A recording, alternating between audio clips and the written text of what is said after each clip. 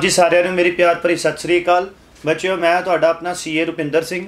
ਅਸੀਂ 10+1 ਅਕਾਊਂਟਿੰਗ ਦੀ ਤੁਹਾਡੇ ਨਾਲ ਡਿਸਕਸ਼ਨ ਕਰ ਰਹੇ ਸੀਗੇ। ਔਰ ਅਸੀਂ ਆਲਰੇਡੀ ਬੇਟੇ ਤੁਹਾਡੇ ਨਾਲ ਦੋ ਚੈਪਟਰਸ ਦੀ ਕੰਪਲੀਸ਼ਨ ਕਰ ਚੁੱਕੇ ਹਾਂ।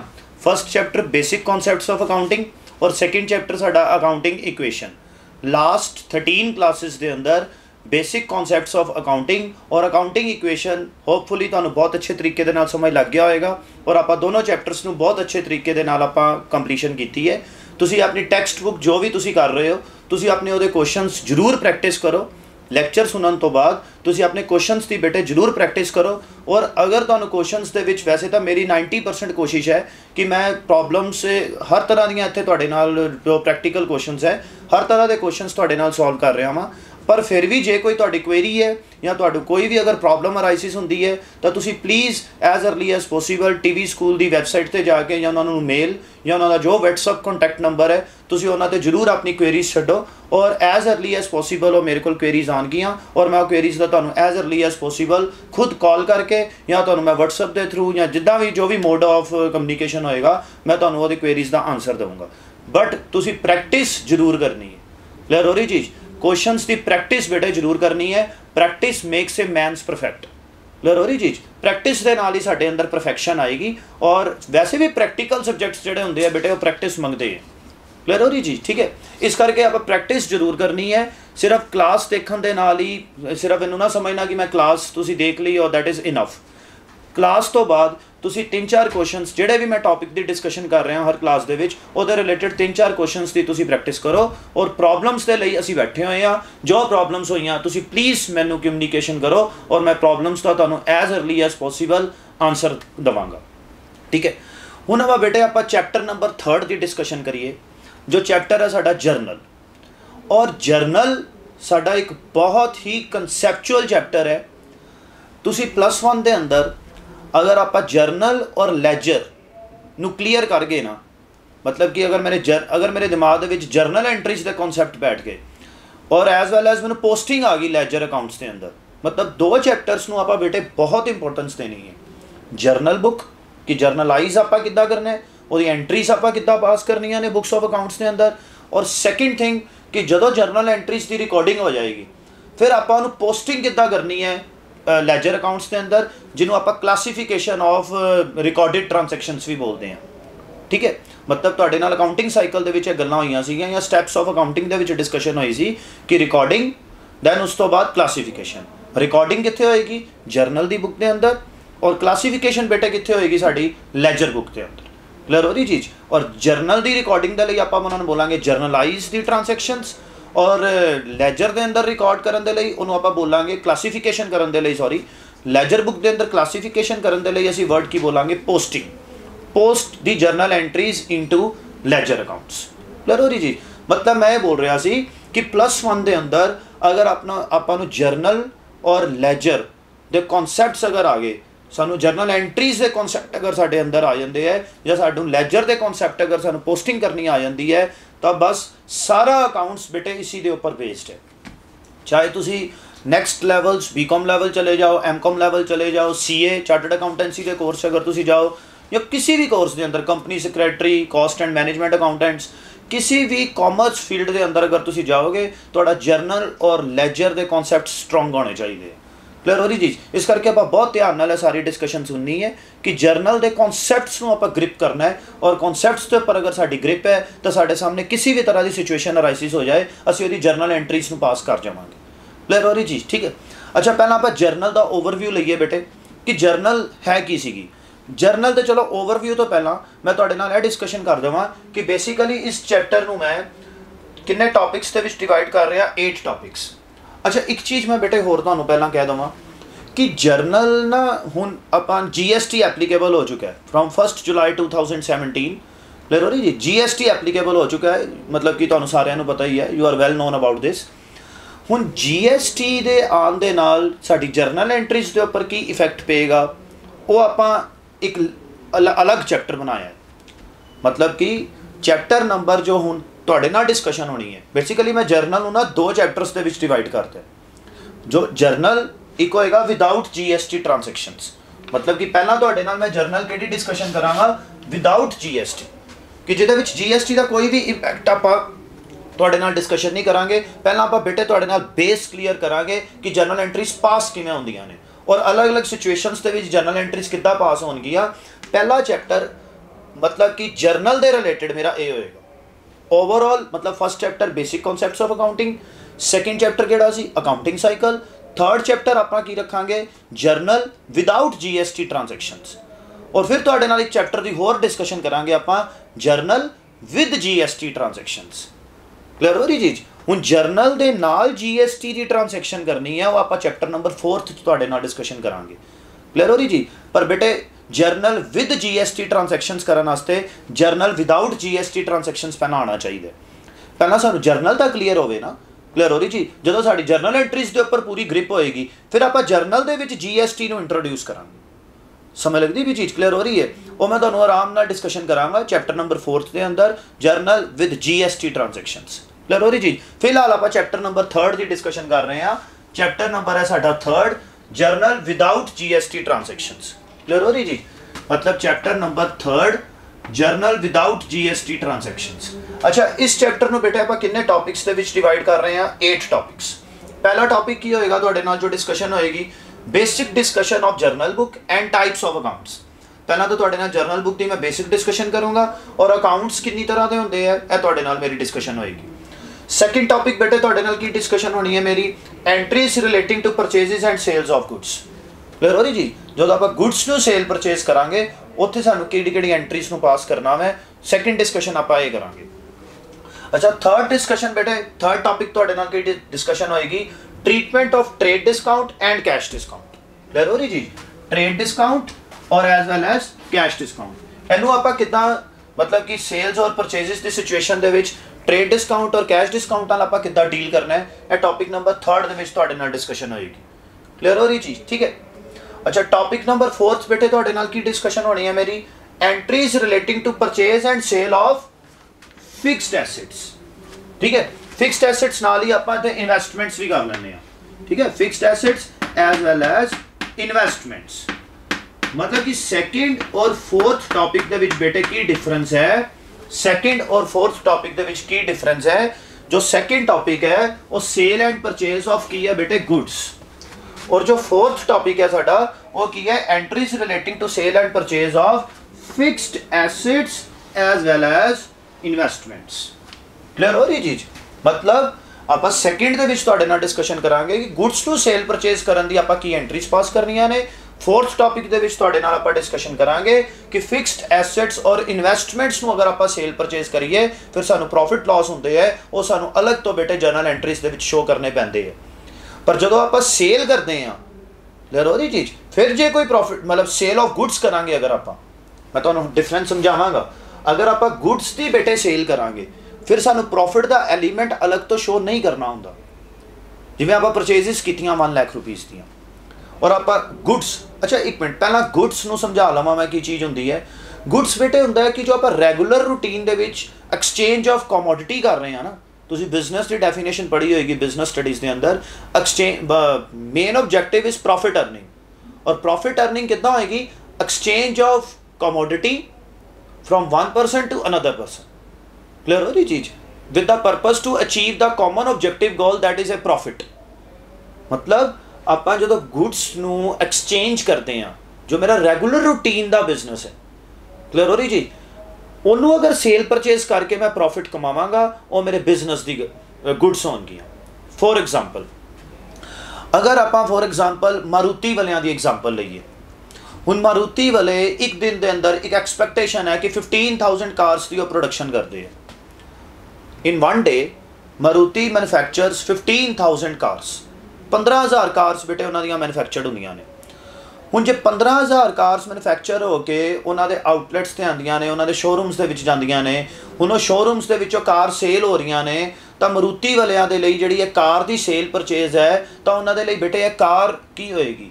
ਗੁੱਡਸ ਕਿਉਂਕਿ ਉਹਨਾਂ ਨੇ ਪ੍ਰੋਫਿਟ ਹੀ ਕਿੱਥੋਂ ਆਨ ਕਰਨਾ ਹੈ? ਉਹਨਾਂ ਦੇ ਲਈ ਐਕਸਚੇਂਜ ਕੀ ਹੋ ਰਿਹਾ ਹੈ? ਉਹਨਾਂ ਦੇ ਲਈ ਕਿਹੜੀ ਕਮੋਡਿਟੀ ਐਕਸਚੇਂਜ ਹੋ ਰਹੀ ਹੈ? ਕਾਰ ਔਰ ਕਾਰ ਉਹਨਾਂ ਦੇ ਲਈ ਕੀ ਬਣ ਜਾਏਗੀ? ਗੁੱਡਸ ਕਲੀਅਰ ਹੋ ਰਹੀ ਚੀਜ਼ ਕਿ ਰੈਗੂਲਰ ਰੂਟੀਨ ਦੇ ਵਿੱਚ ਉਹਨਾਂ ਨੇ ਉਹਨੂੰ ਪਰਚੇਸ ਸੇਲ ਕਰਕੇ ਰॉ ਮਟੀਰੀਅਲ ਪਰਚੇਸ ਕਰਨਗੇ ਵੀਲਸ ਪਰਚੇਸ ਕਰਨਗੇ ਕਲੀਅਰ ਹੋ ਰਹੀ ਚੀਜ਼ ਠੀਕ ਹੈ? ਔਰ ਅਦਰ ਕੰਪੋਨੈਂਟਸ ਉਹਦੇ ਪਰਚੇਸ ਕਰਨਗੇ ਦੈਨ ਉਸ ਤੋਂ ਬਾਅਦ ਉਹਨੂੰ ਮੈਨੂਫੈਕਚਰ ਕਰਨਗੇ ਅਸੈਂਬਲਡ ਕਰਨਗੇ, ਔਰ ਕਾਰ ਨੂੰ ਮਾਰਕੀਟ ਦੇ ਵਿੱਚ ਲਾਂਚ ਕਰਨਗੇ, ਫਿਰ ਉਹ ਕਾਰ ਦਾ ਸੇਲ ਪ੍ਰਾਈਸ ਰੱਖਣਗੇ, ਫਿਰ ਉਹ ਸੇਲ ਦੇ ਨਾਲ ਉਹਨਾਂ ਨੂੰ ਪ੍ਰੋਫਿਟ ਅਰਨ ਹੋਏਗਾ, ਇਹਦਾ ਮਤਲਬ ਉਹ ਗੁੱਡਸ ਦੀ ਐਕਸਚੇਂਜ ਹੋ ਰਹੀ ਹੈ ਜੋ ਉਹਨਾਂ ਨੇ ਰੈਗੂਲਰ ਰੂਟੀਨ ਉਹ ਬਿਜ਼ਨਸ ਕਰੀ ਜਾਣਾ ਹੈ, ਜਿੱਥੋਂ ਉਹਨਾਂ ਨੂੰ ਪ੍ਰੋਫਿਟ ਅਰਨ ਹੋਣਾ ਜੋ ਉਹਨਾਂ ਦਾ ਮੇਨ ਕੰਮ ਹੈ। ਕਲੀਅਰ ਉਹਦੀ ਚੀਜ਼। ਉਹਨਾਂ ਦੇ ਲਈ ਕਾਰ ਕੀ ਹੈ? ਗੁੱਡਸ ਅੱਛਾ ਫੋਰ ਐਗਜ਼ਾਮਪਲ ਹੁਣ ਅਸੀਂ ਕਾਰ ਪਰਚੇਸ ਕਰ ਲਈਏ। ਠੀਕ ਹੈ? ਸਾਡਾ ਰੋਜ਼ ਦਾ ਕੰਮ ਨਹੀਂ ਹੈ ਕਾਰਸ ਨੂੰ ਐਕਸਚੇਂਜ ਕਰਨਾ। ਸਾਡਾ ਰੋਜ਼ ਦਾ ਕੰਮ ਬੇਟੇ ਨਹੀਂ ਹੈ ਕਿ exchange of sale and purchase of cars ਦਾ ਮੇਰਾ ਕੰਮ ਨਹੀਂ ਹੈ। ਮੈਂ ਨਾਰਮਲ ਇੱਕ ਬਿਜ਼ਨਸਮੈਨ ਆ ਮੇਰਾ ਹੋਜ਼ਰੀ ਦਾ ਕੰਮ ਹੈ, ਮੰਨ ਕੇ ਚੱਲੋ। ਔਰ ਮੈਂ ਆਪਣੀ ਹੋਜ਼ਰੀ ਦੇ ਲਈ ਨਾ ਟਰਾਂਸਪੋਰਟੇਸ਼ਨ ਦੇ ਲਈ, ਮੈਂ ਇੱਕ ਮੰਨ ਕੇ ਚੱਲੋ ਕਿ ਇੱਕ ਮੈਂ ਛੋਟਾ ਟੈਂਪੂ ਟਰੈਵਲਰ ਜਿਹਨੂੰ ਆਪਾਂ ਬੋਲਦੇ ਆ ਜਾਂ ਮੈਂ ਛੋਟਾ ਇੱਕ ਮਤਲਬ ਕਿ ਆਪਾਂ ਇੱਕ ਅ, 407 709 ਸਮਥਿੰਗ ਇਦਾਂ ਉਹਨਾਂ ਦੇ ਮਾਡਲਸ ਹੁੰਦੇ ਆ ਕਿ ਆਪਾਂ ਉਦਾਂ ਦੀ ਇੱਕ ਲੋਰੀ ਪਰਚੇਸ ਕਰ ਰਹੀ ਛੋਟੀ ਲੋਰੀ ਜੋ ਆਪਾਂ ਗੁੱਡਸ ਜਿਹੜੀਆਂ ਨੇ ਸ਼ਹਿਰ ਦੇ ਵਿੱਚ ਹੀ ਉਸ ਲੋਰੀ ਤੋਂ ਆਪਾਂ ਡਿਸਟ੍ਰੀਬਿਊਟ ਕਰਾਂਗੇ। ਹੁਣ ਤੁਸੀਂ ਦੱਸੋ ਕਿ ਜਾਂ ਮੈਂ ਕੋਈ ਕਾਰ ਪਰਚੇਸ ਕਰ ਰਿਹਾ ਵਾਂ ਪਰ ਉਹਦੇ ਵਿੱਚ ਮੈਂ ਨਾ ਬਿਜ਼ਨਸ ਦੇ ਅ, ਕੰਮ ਕਰ ਰਿਹਾ। ਕਿ ਮੈਂ ਗੁੱਡਸ ਨੂੰ ਉਠਾ ਕੇ ਇੱਕ ਜਗ੍ਹਾ ਤੋਂ ਦੂਸਰੀ ਜਗ੍ਹਾ ਲੈ ਕੇ ਜਾਣਾ ਵਾਂ ਹੋਜ਼ਰੀ ਦੇ ਕੱਪੜੇ ਨੂੰ ਹੋਜ਼ਰੀ ਦੇ ਜੋ ਪ੍ਰੋਡਕਟਸ ਮੈਂ ਜੋ ਮੈਨੂਫੈਕਚਰ ਕਰ ਰਿਹਾ ਵਾਂ ਉਹਨੂੰ ਮੈਂ ਇੱਕ ਜਗ੍ਹਾ ਤੋਂ ਦੂਸਰੀ ਜਗ੍ਹਾ ਲੈ ਕੇ ਜਾਣਾ ਵਾਂ। ਉਹਦੀ ਟਰਾਂਸਪੋਰਟੇਸ਼ਨ ਦੇ ਲਈ ਮੈਂ ਹੁਣ ਮੋਟਰ ਵਾਹੀਕਲ ਪਰਚੇਸ ਕਰ ਰਿਹਾ। ਹੁਣ ਦੇਖੋ, ਮੇਰਾ ਰੈਗੂਲਰ ਰੂਟੀਨ ਦਾ ਕੰਮ ਥੋੜੀ ਹੈ ਮੋਟਰ ਵਾਹੀਕਲ ਨੂੰ ਸੇਲ ਪਰਚੇਸ ਕਰਨਾ। ਸਮਝ ਲੱਗਦੀ ਵੀ ਚੀਜ਼? ਮੈਂ ਤਾਂ ਆਪਣੇ ਮੋਟਰ ਵਾਹੀਕਲ ਦੇ ਨਾਲ ਆਪਣੀ ਹੋਜ਼ਰੀ ਦੇ ਬਿਜ਼ਨਸ ਨੂੰ ਵਧਾਉਣਾ ਹੈ। ਮੈਂ ਹੋਜ਼ਰੀ ਦੇ ਬਿਜ਼ਨਸ ਨੂੰ ਜੋ ਮੈਂ ਆਪਣੀ ਵੂਲ ਵਗੈਰਾ ਜਾਂ ਆਪਣੀ ਜੈਕਟਸ ਵਗੈਰਾ ਜਾਂ ਮੈਂ ਆਪਣੀ ਸ਼ਾਲਸ ਵਗੈਰਾ ਜਾਂ ਜੋ ਵੀ ਕੋਟੀਆਂ ਵਗੈਰਾ, ਮੈਂ ਉਹਨਾਂ ਨੂੰ ਸੇਲ ਪਰਚੇਸ ਕਰਨਾ ਮੈਂ, ਪਰ ਉਹਦੇ ਲਈ ਮੈਨੂੰ ਮੋਟਰ ਵਾਹੀਕਲ ਪਰਚੇਸ ਕਰਨਾ ਪੈ ਗਿਆ। ਇਹਦਾ ਮਤਲਬ ਇਸ ਕੇਸ ਦੇ ਵਿੱਚ ਮੇਰਾ ਰੈਗੂਲਰ ਰੂਟੀਨ ਆਫ ਪ੍ਰੋਫਿਟ ਕਿੱਥੋਂ ਹੋਣਾ ਹੈ? ਮੇਰੀ regular routine of purchase and sale ਕੀ ਹੋਣੀ ਹੈ? ਮੇਰੀ regular routine of commodity exchange ਕਿਹੜੀ ਹੋਣੀ ਹੈ? ਹੋਜ਼ਰੀ ਪ੍ਰੋਡਕਟਸ ਤਾਂ ਹੋਜ਼ਰੀ ਪ੍ਰੋਡਕਟਸ ਮੇਰੇ ਲਈ ਕੀ ਹੋਣਗੇ ਬੇਟੇ? ਗੁੱਡਸ ਪਰ ਹੋਜ਼ਰੀ ਪ੍ਰੋਡਕਟਸ ਦੀ ਬੇਟੇ ਟਰਾਂਸਪੋਰਟੇਸ਼ਨ ਕਰਨ ਵਾਸਤੇ ਜਿਹੜਾ ਮੈਨੂੰ ਮੋਟਰ ਵਾਹੀਕਲ ਪਰਚੇਸ ਕਰਨਾ ਪਿਆ ਮਰੂਤੀ ਵਾਲਿਆਂ ਕੋਲੋਂ ਜਾਂ ਕਿਸੇ ਵੀ ਹੋਰ ਕੰਪਨੀ ਕੋਲੋਂ, ਉਹ ਮੇਰੇ ਲਈ ਕੀ ਹੋਏਗੀ? ਮੇਰੀ ਫਿਕਸਡ ਐਸੈਟਸ ਕਿਉਂਕਿ ਇਹ ਮੇਰਾ ਇਕਨੋਮਿਕ ਰਿਸੋਰਸ ਹੋਏਗਾ। ਜੋ ਮੈਨੂੰ ਇਕਨੋਮਿਕ ਬੈਨੀਫਿਟ ਦੇ ਰਿਹਾ ਹੈ ਔਰ ਮੇਰੇ ਕੰਟਰੋਲ ਦੇ ਅੰਦਰ ਹੈ, ਉਹ ਮੇਰੀ ਐਸੈਟ ਹੈ। ਕਲੀਅਰ ਹੋ ਰਹੀ ਚੀਜ਼?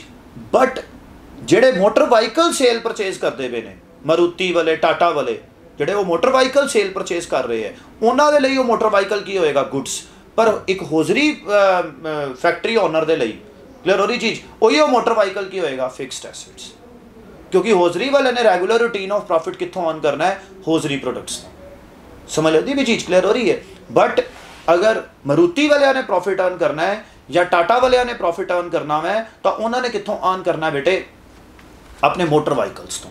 ਤਾਂ ਉਹਨਾਂ ਦੇ ਲਈ ਮੋਟਰ ਵਾਹੀਕਲਸ ਕੀ ਹੋਏਗਾ ਕਮੋਡਿਟੀ ਐਕਸਚੇਂਜ ਆਫ ਕਮੋਡਿਟੀ ਉਹ ਉਹਨਾਂ ਦੇ ਲਈ ਗੁੱਡਸ ਹੋਣਗੀਆਂ ਪਰ ਸਾਡੇ ਲਈ ਮੋਟਰ ਵਾਹੀਕਲ ਗੁੱਡਸ ਨਹੀਂ ਹੈ ਇੱਕ ਹੋਰ ਆਪਾਂ ਐਗਜ਼ਾਮਪਲ ਲੈਂਦੇ ਹਾਂ ਛੋਟੀ ਜੀ ਫੋਰ ਐਗਜ਼ਾਮਪਲ ਕਿ ਅਗਰ ਕਿਸੇ ਪਰਸਨ ਦੀ ਇਲੈਕਟ੍ਰੋਨਿਕਸ ਦੀ ਸ਼ਾਪ ਹੈ ਹੁਣ ਇਲੈਕਟ੍ਰੋਨਿਕਸ ਦੀ ਸ਼ਾਪ ਹੈ ਉਹਨੇ ਰੈਫਰੀਜਰੇਟਰ ਪਰਚੇਸ ਕੀਤਾ 에ਅਰ ਕੰਡੀਸ਼ਨਰ ਪਰਚੇਸ ਕੀਤਾ ਇਨਵਰਟਰ ਪਰਚੇਸ ਕੀਤੇ ਮਾਈਕ੍ਰੋਵੇਵ ਓਵਨ ਪਰਚੇਸ ਕੀਤੇ ਹੁਣ ਦੱਸੋ ਉਹਦਾ regular routine of sale purchase ਉਹਨੇ ਪ੍ਰੋਫਿਟ ਕਿੱਥੋਂ ਕਮਾਣਾ ਹੈ ਉਹਨੇ ਕੰਮ ਕਿੱਥੋਂ ਕਰਨਾ ਹੈ ਇਹ ਰੈਫਰੀਜਰੇਟਰ ਸੇਲ ਕਰਕੇ ਵਾਸ਼ਿੰਗ ਮਸ਼ੀਨਸ ਸੇਲ ਕਰਕੇ ਮਾਈਕ੍ਰੋਵੇਵ ਓਵਨ ਸੇਲ ਕਰਕੇ ਕਲੀਅਰ ਹੋ ਰਹੀ ਚੀਜ਼ ਉਹਨੇ ਇਹ ਸਭ ਚੀਜ਼ਾਂ ਨੂੰ ਸੇਲ ਕਰਕੇ ਇਨਵਰਟਰ ਸੇਲ ਕਰਕੇ ਇਹ ਸਭ ਚੀਜ਼ਾਂ ਨੂੰ ਸੇਲ ਕਰਕੇ ਉਹਨੇ ਕੀ ਆਨ ਕਰਨਾ ਹੈ ਪ੍ਰੋਫਿਟ ਇਹਦਾ ਮਤਲਬ ਰੈਫਰੀਜਰੇਟਰ ਹੋ ਗਿਆ ਜਾਂ ਵਾਸ਼ਿੰਗ ਮਸ਼ੀਨ ਹੋ ਗਿਆ ਜਾਂ ਮਾਈਕ੍ਰੋਵੇਵ ਓਵਨ ਹੋ ਗਿਆ ਇਹ ਸਭ ਚੀਜ਼ਾਂ ਇਲੈਕਟ੍ਰੋਨਿਕਸ ਸ਼ਾਪ ਦੇ ਲਈ ਕੀ ਹੋਣਗੀਆਂ ਗੁੱਡਸ ਕਲੀਅਰ ਹੋ ਰਹੀ ਚੀਜ਼ ਪਰ ਬੇਟੇ ਅਗਰ ਅਸੀਂ ਆਪਣੇ ਆਫਿਸ ਦੇ ਅੰਦਰ ਜਾਂ ਅਸੀਂ ਆਪਣੀ ਫੈਕਟਰੀ ਦੇ ਅੰਦਰ ਉਹੀਓ ਏਸੀ ਪਰਚੇਸ ਕਰਕੇ ਲੈ ਆਈਏ ਕਲੀਅਰ ਹੋ ਜੀ ਸਪੋਜ਼ ਕਰੋ ਹੁਣ ਸਾਡਾ ਉਹੀਓ ਸ਼ਾਲਸ ਮੈਨੂਫੈਕਚਰਿੰਗ ਦਾ ਕੰਮ ਹੈ ਹੋਜ਼ਰੀ ਦਾ ਕੰਮ ਹੈ। ਅਸੀਂ ਉਹ ਅਗਰ ਇਲੈਕਟ੍ਰੋਨਿਕਸ ਦੀ ਸ਼ਾਪ ਤੋਂ ਏਸੀ ਪਰਚੇਸ ਕਰਕੇ ਲੈ ਕੇ ਆਵਾਂਗੇ, ਆਪਣੀ ਆਫਿਸ ਦੇ ਅੰਦਰ ਏਸੀ ਨੂੰ ਇੰਸਟਾਲ ਕਰਵਾਵਾਂਗੇ ਜਾਂ ਆਪਣੀ ਫੈਕਟਰੀ ਦੇ ਅੰਦਰ ਆਪਾਂ ਕੋਈ ਮਸ਼ੀਨਰੀ ਇੰਸਟਾਲ ਕਰਵਾਵਾਂਗੇ, ਤਾਂ ਸਾਡੇ ਲਈ ਬੇਟੇ ਉਹ ਕੀ ਹੋਏਗੀ? ਐਸੈਟ ਕਿਉਂਕਿ ਸਾਡਾ ਰੈਗੂਲਰ ਰੂਟੀਨ ਆਫ ਬਿਜ਼ਨਸ ਉਹ ਨਹੀਂ ਹੈ। ਕਲੀਅਰ ਹੋ ਰਹੀ ਚੀਜ਼? ਮਤਲਬ ਮੈਂ ਕੀ ਸਮਝਾਉਣਾ ਚਾਹੁੰਦਾ ਵਾਂ ਕਿ ਗੁੱਡਸ ਕੀ ਹੁੰਦੀਆਂ ਹੁੰਦੀਆਂ ਨੇ ਉਹ ਬਿਜ਼ਨਸ ਦੀ ਕਮੋਡਿਟੀ ਜਿਹਨੂੰ ਐਕਸਚੇਂਜ ਔਰ ਸੇਲ ਔਰ ਪਰਚੇਸ ਕਰਕੇ ਐਕਸਚੇਂਜ ਕਰਕੇ ਅਸੀਂ ਪ੍ਰੋਫਿਟ ਅਰਨ ਕਰਾਂਗੇ। ਇਸ ਕਰਕੇ ਜਦੋਂ ਆਪਾਂ ਸੇਲ ਕਰਾਂਗੇ ਨਾ ਗੁੱਡਸ ਦੀ ਕਲੀਅਰ ਚੀਜ਼ ਤਾਂ ਉੱਥੇ ਉਸ ਕੇਸ ਦੇ ਵਿੱਚ ਪ੍ਰੋਫਿਟ ਦਾ ਐਲੀਮੈਂਟ ਅਲੱਗ ਤੋਂ ਸ਼ੋ ਨਹੀਂ ਹੁੰਦਾ।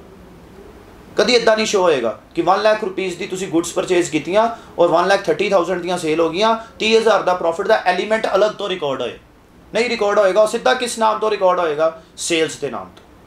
ਪਰ ਬੇਟੇ ਜਦੋਂ ਆਪਾਂ sale and purchase of fixed assets ਕਰਾਂਗੇ ਨਾ। ਕਲੀਅਰ ਹੋ ਰਹੀ ਜੀ ਜੇ ਆਪਾਂ 1 ਲੱਖ ਰੁਪਏ ਦੀ ਕੋਈ ਐਸੈਟ ਪਰਚੇਸ ਕੀਤੀ, ਉਹਨੂੰ 1 ਲੱਖ 30 ਹਜ਼ਾਰ ਰੁਪਏ ਦਾ ਸੇਲ ਕਰਤਾ, ਫਿਰ ਸਾਡਾ ਪ੍ਰੋਫਿਟ ਦਾ ਐਲੀਮੈਂਟ ਅਲੱਗ ਤੋਂ ਸ਼ੋ ਹੋਏਗਾ। ਔਰ ਅਗਰ ਅਸੀਂ ਲਾਸ ਤੇ ਸੇਲ ਕੀਤੀ, ਜਿਵੇਂ 90000 ਦੀ ਸੇਲ ਕਰਤੀ, ਫਿਰ ਸਾਡਾ 10000 ਦਾ ਲਾਸ ਵਾਲਾ ਐਲੀਮੈਂਟ ਵੀ ਜਿਹੜਾ ਹੋਏਗਾ, ਉਹ ਅਲੱਗ ਤੋਂ ਸ਼ੋ ਹੋਏਗਾ। ਕਿਉਂਕਿ ਉਹ ਸਾਡੀਆਂ ਗੁੱਡਸ ਨਹੀਂ ਹੈ। ਡਿਪੈਂਡ ਕਰਦਾ ਹੈ ਬਿਜ਼ਨਸ ਟੂ ਬਿਜ਼ਨਸ ਕਿ ਗੁੱਡਸ ਕਿਹੜੀਆਂ ਨੇ, ਕਿਹੜੀਆਂ ਗੁੱਡਸ ਨਹੀਂ ਹੈ।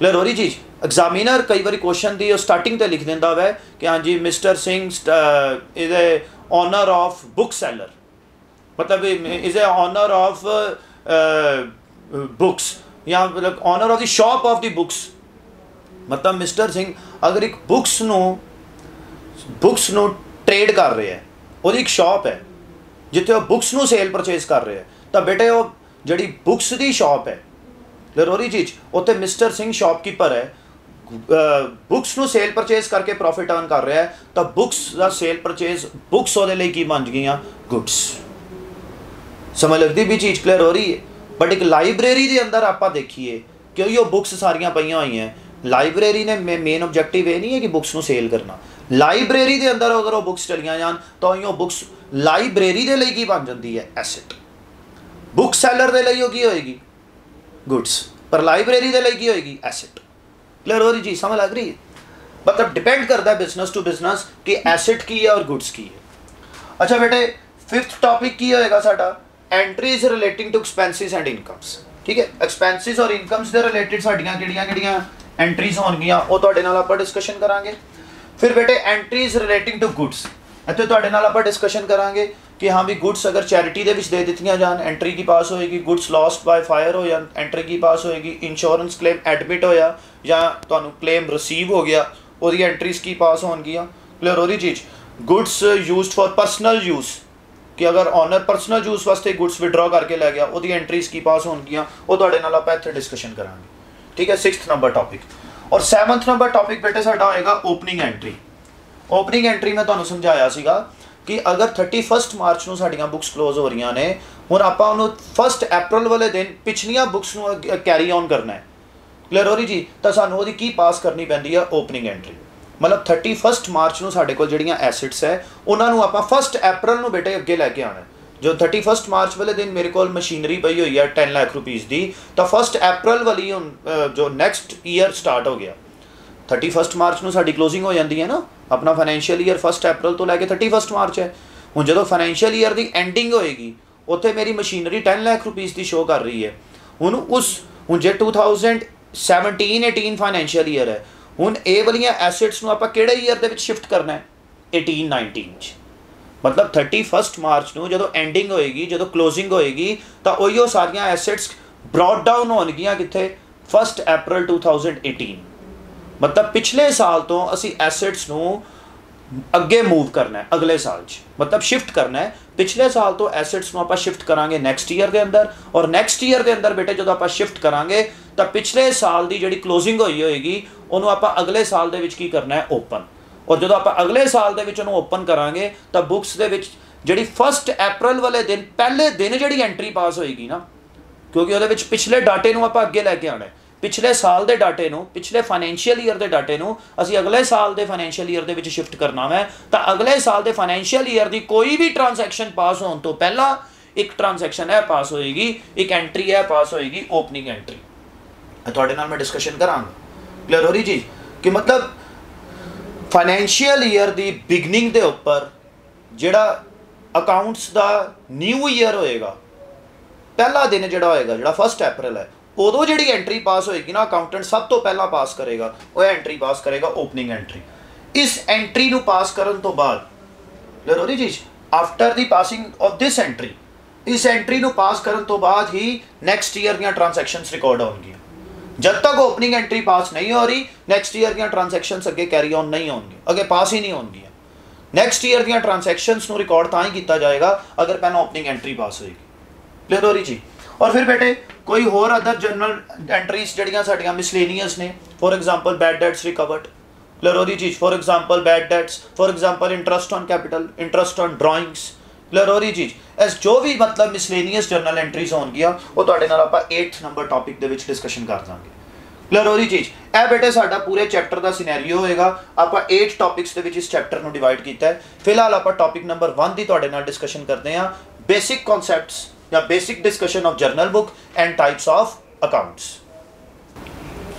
ਹਾਂਜੀ ਬੇਟੇ ਹੁਣ ਆਪਾਂ ਟੌਪਿਕ ਨੰਬਰ 1 ਦੀ ਤੁਹਾਡੇ ਨਾਲ ਡਿਸਕਸ਼ਨ ਕਰਦੇ ਹਾਂ ਟੌਪਿਕ ਨੰਬਰ 1 ਕੀ ਸੀਗਾ ਸਾਡਾ basic discussion of journal and types of accounts ਠੀਕ ਹੈ ਆਪਾਂ ਪਹਿਲਾਂ ਬੇਟੇ ਜਰਨਲ ਨੂੰ ਸਮਝੀਏ ਕਿ ਜਰਨਲ ਹੈ ਕੀ ਸੀਗਾ ਮੈਂ ਤੁਹਾਨੂੰ ਸਮਝਾਇਆ ਸੀਗਾ ਸਾਡਾ ਹੁਣ ਥੋੜਾ ਜਿਹਾ ਨਾ ਜਲਦੀ ਹੋਏਗਾ ਕਿਉਂਕਿ ਆਪਾਂ ਕਨਸੈਪਟਸ ਨੂੰ ਕਲੀਅਰ ਕਰਕੇ ਬੈਠੇ ਹੋਏ ਹਾਂ ਮੈਂ ਤੁਹਾਨੂੰ ਬੇਟੇ ਸਮਝਾਇਆ ਸੀਗਾ ਕਿ ਜਦੋਂ ਸਾਡੀ transactions after the identification of transactions then we will proceed to recording of identified transactions ਮਤਲਬ ਕਿ ਜਦੋਂ ਆਪਾਂ ਟ੍ਰਾਂਜੈਕਸ਼ਨਸ ਨੂੰ ਆਇਡੈਂਟੀਫਾਈਡ ਕਰ ਲੈਂਦੇ ਆ ਦੈਨ ਉਸ ਤੋਂ ਬਾਅਦ ਅਗਲਾ ਸਟੈਪ ਜੋ ਸਾਡਾ ਸੀਗਾ ਉਹ ਰਿਕਾਰਡਿੰਗ ਸੀਗਾ ਔਰ ਮੈਂ ਤੁਹਾਨੂੰ ਸਮਝਾਇਆ ਸੀ ਬੇਟੇ ਰਿਕਾਰਡਿੰਗ ਆਫ ਆਇਡੈਂਟੀਫਾਈਡ ਟ੍ਰਾਂਜੈਕਸ਼ਨ ਕਿੱਥੇ ਹੋਣੀਆਂ ਨੇ ਜਰਨਲ ਬੁੱਕ ਦੇ ਅੰਦਰ ਕਲੀਅਰ ਹੋ ਰਹੀ ਚੀਜ਼ ਮਤਲਬ ਕਿ ਜਰਨਲ ਇੱਕ ਐਸੀ ਬੁੱਕ ਹੈ ਆਪਾਂ ਸਿੰਪਲੀਫਾਈਡ ਲੈਂਗੁਏਜ ਚ ਪੜ੍ਹੀਏ ਕਿ ਟ੍ਰਾਂਜੈਕਸ਼ਨਸ ਨੇ ਜਿੱਦਾਂ ਹੀ ਹੋਣਾ ਹੈ ਨਾ ਤਾਂ ਸਭ ਤੋਂ ਪਹਿਲਾਂ ਇਫੈਕਟ ਕਿਹੜੀ ਬੁੱਕ ਦੇ ਉੱਤੇ ਪੈਣਾ ਹੈ ਜਰਨਲ ਬੁੱਕ 'ਚ ਕਲੀਅਰ ਹੋ ਰਹੀ ਚੀਜ਼ ਮਤਲਬ ਕਿ ਫਰਸਟ ਇਨਸਟੈਂਸ ਸਭ ਤੋਂ ਪਹਿਲਾਂ ਜਿਹੜੀ ਰਿਕਾਰਡਿੰਗ ਹੋਏਗੀ,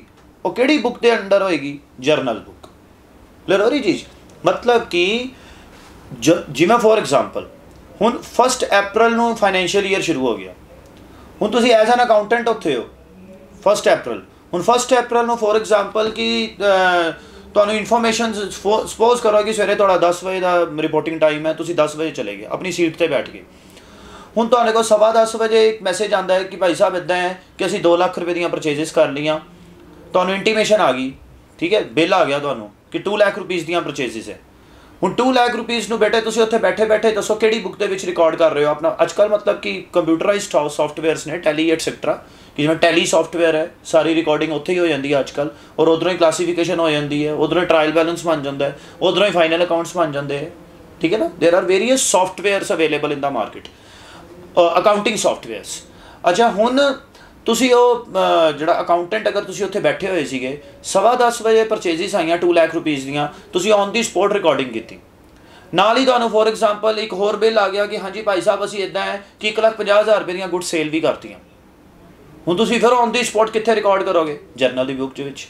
ਕਲੀਅਰ ਹੋ ਰਹੀ ਫਿਰ ਤੁਹਾਨੂੰ ਫੋਰ ਐਗਜ਼ਾਮਪਲ 11 ਵਜੇ ਮੈਸੇਜ ਆ ਰਿਹਾ ਕਿ ਯਾਰ ਅਸੀਂ ਇਲੈਕਟ੍ਰਿਸਿਟੀ ਬਿੱਲ ਪੇ ਕਰਤੇ। ਫਿਰ ਤੁਸੀਂ ਔਨ ਦੀ ਸਪੋਟ ਕਿੱਥੇ ਰਿਕਾਰਡ ਕੀਤਾ? ਜਰਨਲ ਬੁੱਕ ਦੇ ਵਿੱਚ। ਕਲੀਅਰ ਹੋ ਰਹੀ ਜੀ? ਫਿਰ ਤੁਹਾਨੂੰ ਮੈਸੇਜ ਆਇਆ ਕਿ ਅਸੀਂ ਸੈਲਰੀਜ਼ ਪੇ ਕਰਤੀਆਂ ਨੇ 10000 ਰੁਪਇਆ। ਫਿਰ ਤੁਸੀਂ ਔਨ ਦੀ ਸਪੋਟ ਰਿਕਾਰਡਿੰਗ ਕਿੱਥੇ ਕੀਤੀ? ਜਰਨਲ ਬੁੱਕ ਦੇ ਅੰਦਰ। ਕਲੀਅਰ ਹੋ ਰਹੀ ਚੀਜ਼? ਅੱਛਾ, ਫਿਰ ਤੁਹਾਨੂੰ ਸਪੋਜ਼ ਕਰੋ ਕਿ ਤੁਹਾਨੂੰ ਮੈਸੇਜ ਆਇਆ ਕਿ ਹਾਂਜੀ, ਅਸੀਂ ਕੋਈ ਨਾ ਮਸ਼ੀਨਰੀ ਪਰਚੇਸ ਕਰ ਰਹੇ ਹਾਂ। ਔਰ 1 ਵਜੇ ਆਰਗੇਨਾਈਜੇਸ਼ਨ ਦੇ ਅੰਦਰ ਮਸ਼ੀਨਰੀ ਵੀ ਆ ਜਾਂਦੀ ਹੈ। ਫਿਰ ਤੁਸੀਂ ਔਨ ਦੀ ਸਪੌਟ ਕਿੱਥੇ ਰਿਕਾਰਡ ਕਰੋਗੇ? ਜਰਨਲ ਬੁੱਕ ਦੇ ਅੰਦਰ। ਮਤਲਬ ਕਿ ਤੁਸੀਂ ਇੱਕ ਐਸੀ ਬੁੱਕ ਨੂੰ ਹਮੇਸ਼ਾ ਆਪਣੇ ਸਾਹਮਣੇ ਜਿੰਨੀ ਦੇਰ ਤੁਸੀਂ ਐਜ਼ ਅ ਉੱਥੇ ਅਕਾਊਂਟੈਂਟ ਬੈਠੇ ਹੋਏ ਹੋ, ਤੁਹਾਡੇ ਮੋਨੀਟਰ ਦੇ ਅੰਦਰ, ਤੁਹਾਡੇ ਟਰਮ ਤੁਹਾਡੇ ਸਿਸਟਮ ਦੇ ਅੰਦਰ, ਤੁਹਾਡੇ ਲੈਪਟਾਪ ਜਾਂ ਕੰਪਿਊਟਰ ਦੇ ਅੰਦਰ ਡੈਸਕਟਾਪ ਦੇ ਅੰਦਰ, ਇੱਕ ਐਸੀ ਬੁੱਕ ਹਮੇਸ਼ਾ ਮਿਨੀਮਾਈਜੇਸ਼ਨ ਦੇ ਵਿੱਚ ਜਾਂ ਮੈਕਸਿਮਾਈਜੇਸ਼ਨ ਦੇ ਵਿੱਚ ਓਪਨ ਰਹੇਗੀ ਕਿ ਜਿਹਨੂੰ ਆਪਾਂ ਜਰਨਲ ਬੁੱਕ ਬੋਲਾਂਗੇ, ਕਿਉਂਕਿ ਕੋਈ ਪਤਾ ਨਹੀਂ ਟ੍ਰਾਂਜੈਕਸ਼ਨ ਨੇ ਕਦੋਂ ਆ ਜਾਣਾ। ਸਮਝ ਰਹੇ ਵੀ ਚੀਜ਼ ਹੁਣ ਜਦੋਂ ਟ੍ਰਾਂਜੈਕਸ਼ਨ ਨਹੀਂ ਆਈ, ਤੁਸੀਂ ਉਹਨੂੰ ਮਿਨੀਮਾਈਜ਼ ਕਰ ਦੋਗੇ। ਕੁਝ ਹੋਰ ਆਪਣਾ ਕੰਮ ਕਰਨਾ ਸ਼ੁਰੂ ਕਰ ਦੋਗੇ।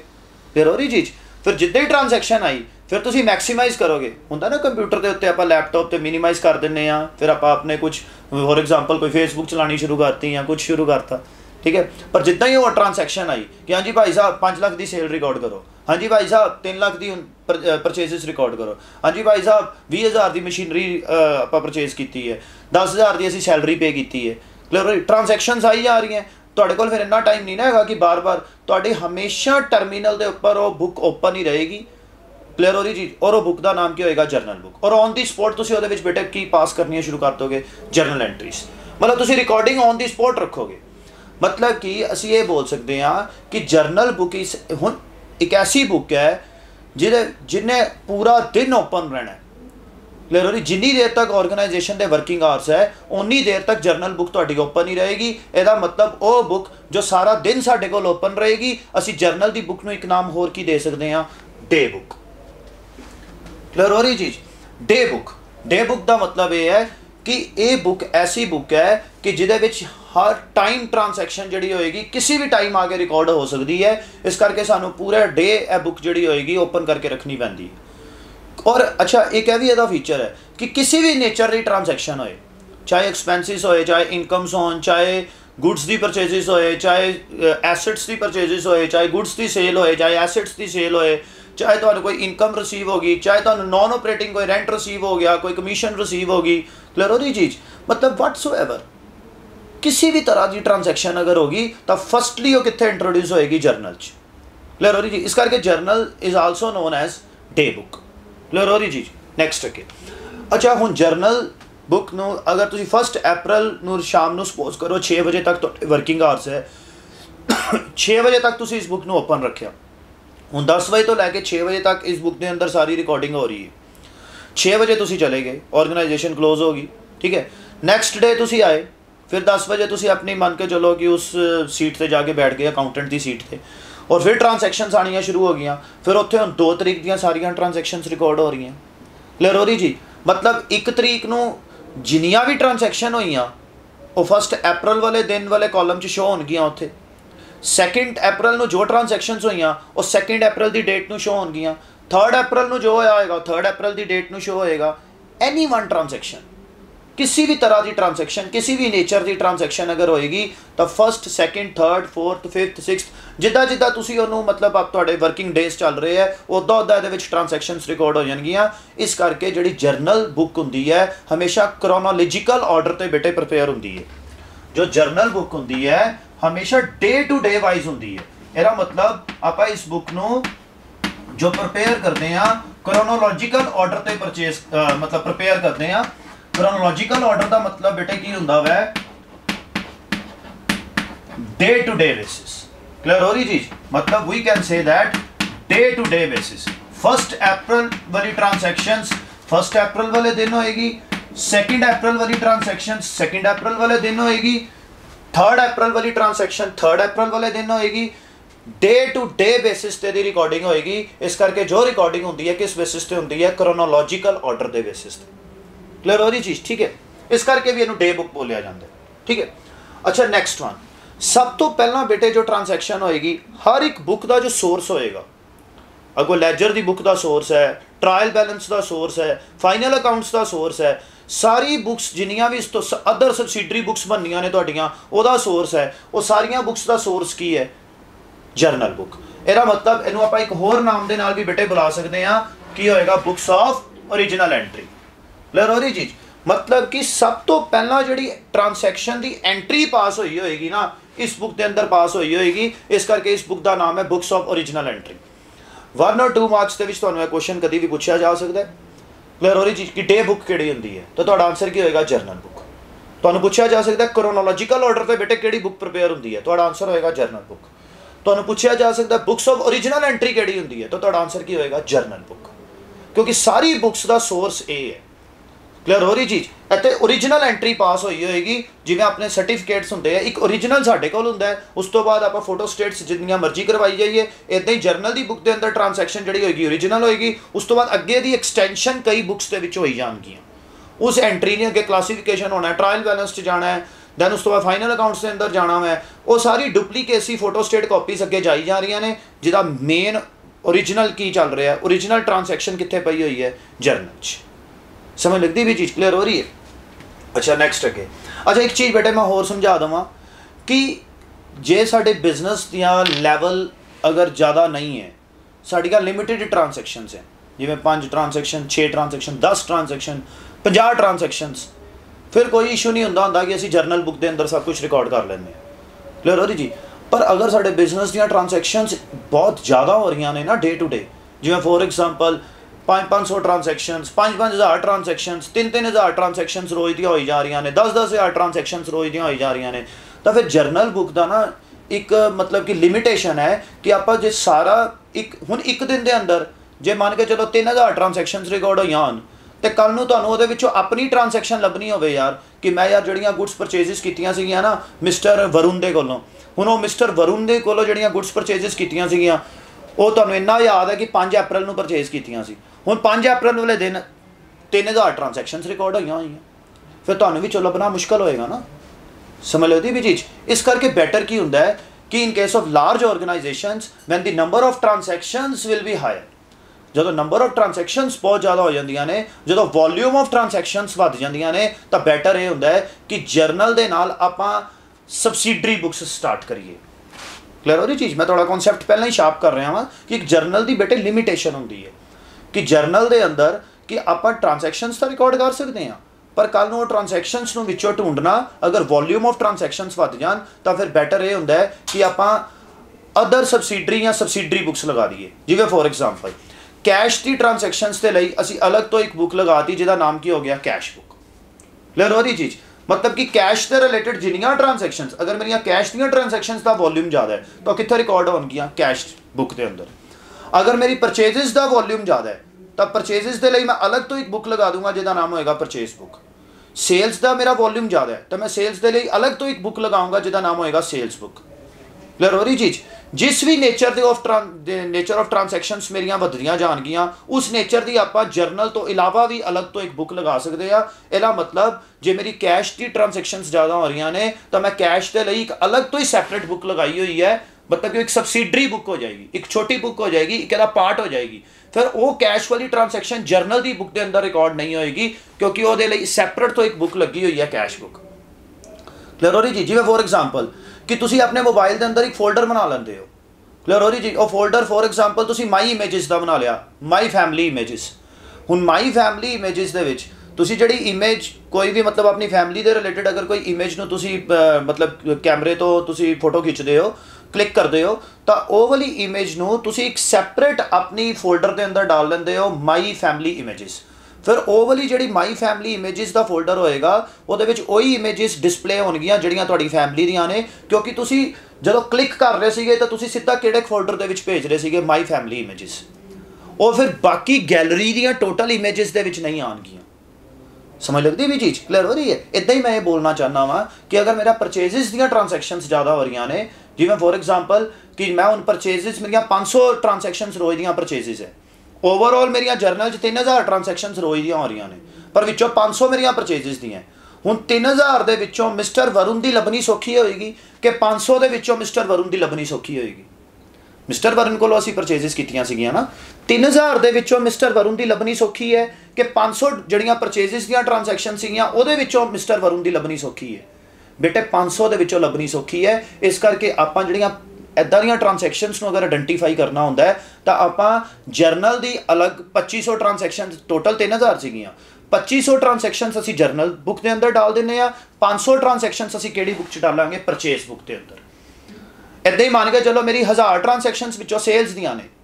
ਕਲੀਅਰ ਹੋ ਰਹੀ ਜੀ? ਤਾਂ ਫਿਰ ਅਸੀਂ ਕੀ ਕਰਦੇ ਆ ਕਿ 1000 ਟ੍ਰਾਂਜੈਕਸ਼ਨਸ ਦੇ ਲਈ ਅਲੱਗ ਤੋਂ ਇੱਕ ਬੁੱਕ ਲਗਾ ਸਕਦੇ ਹਾਂ, ਜਿਹਦਾ ਨਾਮ ਕੀ ਹੋਏਗਾ? ਸੇਲਸ ਬੁੱਕ ਔਰ ਪਰਚੇਜ਼ਸ ਦੀ ਟ੍ਰਾਂਜੈਕਸ਼ਨਸ ਦੇ ਲਈ ਕਿਹੜਾ ਕਿਹੜੀ ਬੁੱਕ ਹੋਗੀ ਪਰਚੇਸ ਬੁੱਕ ਔਰ ਜਿਹੜੀਆਂ ਟੋਟਲ 3000 ਟ੍ਰਾਂਜੈਕਸ਼ਨ ਸੀਗੀਆਂ। 1000 ਸੇਲ ਵਾਲੀਆਂ ਅਲੱਗ ਹੋ ਗਈਆਂ 500 ਪਰਚੇਜ਼ਸ ਵਾਲੀਆਂ ਅਲੱਗ ਹੋ ਗਈਆਂ 1500 ਟ੍ਰਾਂਜੈਕਸ਼ਨਸ ਕਿੱਥੇ ਰਹਿ ਜਾਣਗੀਆਂ ਜਰਨਲ ਬੁੱਕ 'ਚ। ਮਤਲਬ ਹੁਣ ਸਾਨੂੰ ਜੇ ਸੇਲਸ ਦੀ ਲੱਭਣੀ ਹੈ, ਤਾਂ ਸਾਨੂੰ ਉਹ 3000 ਵਾਲਾ ਰਿਕਾਰਡ ਹੀ ਨਹੀਂ ਹੈ। ਸਾਡੇ ਕੋਲ ਹੁਣ ਆਪਾਂ ਕਿਹਦੇ ਚੋਂ ਢੂੰਡ ਲਵਾਂਗੇ ਸੇਲਸ ਵਾਲੀਆਂ? 1000 ਟ੍ਰਾਂਜੈਕਸ਼ਨਸ ਚੋਂ। ਸੇਲਸ ਬੁੱਕ ਨੂੰ ਦੇਖਾਂਗੇ। ਜੇ ਮੈਂ ਪਰਚੇਜ਼ਸ ਦੇ ਰਿਲੇਟਡ ਕੋਈ ਟ੍ਰਾਂਜੈਕਸ਼ਨ ਦੇਖਣੀ ਹੈ, ਮੈਨੂੰ ਜਰਨਲ 'ਚ ਜਾਣ ਦੀ ਲੋੜ ਹੀ ਨਹੀਂ ਹੈ, ਮੈਂ ਕਿਹਦੇ ਚੋਂ ਦੇਖਾਂਗਾ? ਪਰਚੇਸ ਬੁੱਕ ਚੋਂ। ਲਰੋਰੀ ਜੀ, ਅਗਰ ਸੇਲ ਪਰਚੇਸ ਤੋਂ ਇਲਾਵਾ ਮੈਂ ਕੋਈ ਟ੍ਰਾਂਜੈਕਸ਼ਨ ਢੂੰਡਣੀ ਹੈ, ਉਹ ਮੈਂ ਜਰਨਲ ਬੁੱਕ ਚੋਂ ਦੇਖਾਂਗਾ, ਜਿੱਥੇ 1500 ਟ੍ਰਾਂਜੈਕਸ਼ਨਸ ਰਿਕਾਰਡਡ ਨੇ।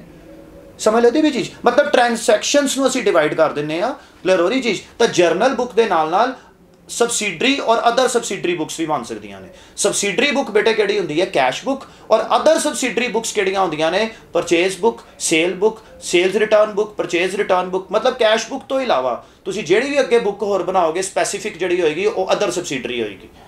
ਕਲੀਅਰ ਹੋ ਰਹੀ ਚੀਜ਼? ਮਤਲਬ ਇਹ ਤੁਹਾਨੂੰ ਬੁੱਕਸ ਪਹਿਲਾਂ ਨਾ ਬੇਟੇ ਪਤਾ ਹੋਣੀਆਂ ਚਾਹੀਦੀਆਂ ਕਿਹੜੀਆਂ ਨੇ। ਕਲੀਅਰ ਹੋ ਰਹੀ ਚੀਜ਼? ਜਰਨਲ ਦੇ ਨਾਲ ਸਬਸਿਡਰੀ ਬੁੱਕ ਬਣ ਸਕਦੀ ਹੈ, ਉਹ ਕੈਸ਼ ਬੁੱਕ ਹੋਏਗੀ। ਕਲੀਅਰ ਹੋ ਰਹੀ ਚੀਜ਼? ਔਰ ਕੈਸ਼ ਬੁੱਕ ਤੋਂ ਇਲਾਵਾ ਜੇ ਤੁਸੀਂ ਕੋਈ ਹੋਰ ਬੁੱਕ ਬਣਾ ਰਹੇ ਹੋ, ਉਹ ਅਦਰ ਸਬਸਿਡਰੀਜ਼ ਹੋਣਗੀਆਂ for example purchase book and sales book journal ਦੀ ਬੇਟੇ ਆਪਾਂ 1 ਮਿੰਟ ਦਾ ਡੈਫੀਨੇਸ਼ਨ ਪੜ੍ਹ ਲਈਏ ਹੁਣ। ਮੀਨਿੰਗ ਕਲੀਅਰ ਕਰ ਲਈਏ। Journal is a book of origignal entry ਇੱਕ ਬੁੱਕ ਹੈ ਜਿਹਦੇ ਅੰਦਰ origignal ਐਂਟਰੀ ਹੈ। In which the transactions are recorded first ਸਭ ਤੋਂ ਪਹਿਲਾਂ ਟ੍ਰਾਂਜੈਕਸ਼ਨ ਕਿੱਥੇ ਰਿਕਾਰਡ ਹੋਏਗੀ? ਇਸ ਬੁੱਕ ਦੇ ਅੰਦਰ of all as and when they take place ਕਿ ਜਦੋਂ ਵੀ ਟ੍ਰਾਂਜੈਕਸ਼ਨ ਹੋਏਗੀ ਸਭ ਤੋਂ ਪਹਿਲਾਂ ਕਿੱਥੇ ਰਿਕਾਰਡ ਹੋਏਗੀ ਜਰਨਲ ਬੁੱਕ 'ਚ ਇੱਕ ਵਾਰੀ ਦੁਬਾਰਾ ਬੋਲ ਰਹੇ ਹਾਂ journal is a book of origignal entry in which the transactions are recorded first of all first of all transactions ਕਿੱਥੇ ਰਿਕਾਰਡ ਹੋਣਗੀਆਂ ਜਰਨਲ ਬੁੱਕ of all ਸਾਰੀਆਂ transactions as and when they take place ਜਦੋਂ ਵੀ transaction occurred ਹੋਏਗੀ ਮਤਲਬ ਇਹ ਕਿਉਂ ਬੋਲਿਆ ਗਿਆ as and when they take place ਕਿਉਂਕਿ chronological order ਇੱਕ ਤਰੀਕ ਦੀ ਟ੍ਰਾਂਜੈਕਸ਼ਨ ਇੱਕ ਤਰੀਕ van they take place second ਅਪ੍ਰੈਲ ਵਾਲੀ transaction when they take place second April clear ਹੋ ਰਹੀ ਚੀਜ਼? ਕ੍ਰੋਨੋਲੋਜੀਕਲ ਆਰਡਰ ਦੇ ਕਾਰਨ ਡੇ ਟੂ ਡੇ ਆਰਡਰ ਦੇ ਕਾਰਨ ਇਹ ਵਰਡ ਇੱਥੇ ਲਿਖਿਆ ਗਿਆ। ਸਮਝ ਲੱਗਦੀ ਵੀ ਚੀਜ਼? ਬੇਟੇ, ਇਹ ਸੀਗਾ ਸਾਡੀ ਫਸਟ ਜਰਨਲ ਦੀ ਆਪਣੀ ਫਸਟ ਕਲਾਸ ਜਿਹਦੇ ਵਿੱਚ ਹੋਪਫੁਲੀ ਤੁਹਾਨੂੰ ਜਰਨਲ ਦੇ ਕਨਸੈਪਟਸ ਔਰ ਮੀਨਿੰਗ ਕਲੀਅਰ ਹੋ ਗਏ ਹੋਣਗੇ। ਨੈਕਸਟ ਕਲਾਸ ਦੇ ਅੰਦਰ ਆਪਾਂ ਤੁਹਾਡੇ ਨਾਲ ਟਾਈਪਸ ਆਫ ਅਕਾਊਂਟਸ ਦੀ ਡਿਸਕਸ਼ਨ ਕਰਾਂਗੇ। ਮੇਰੇ ਵੱਲੋਂ ਪਿਆਰ ਭਰੀ ਸਤਿ ਸ੍ਰੀ ਅਕਾਲ। Thank you